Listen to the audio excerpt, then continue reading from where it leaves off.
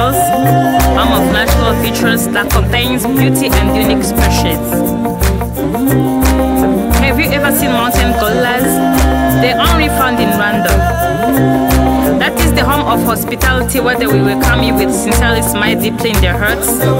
It is the place where you will rest peacefully and hopefully in amazing hotels. Visit Rwanda.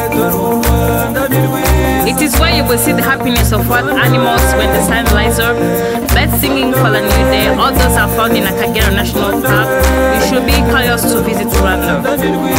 There is no cage of happiness where our traditional dancers light up in beats of drums and wonderful melodies. Let us travel to the source of our culture, home of our listen kings and queens, where you will see beautiful curves and the wonderful mothers. Visit Rwanda. Country where there is easy investment, advanced technology.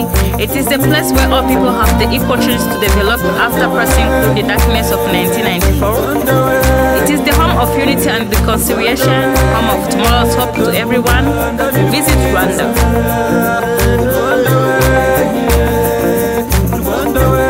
Through patriotism and brave hearts of our leadership, we are thanking them for the light of hope to all Rwandans.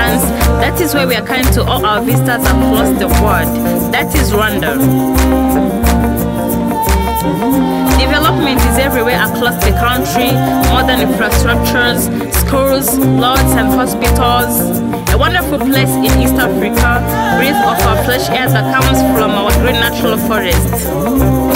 Place of treasure and happiness to all visitors.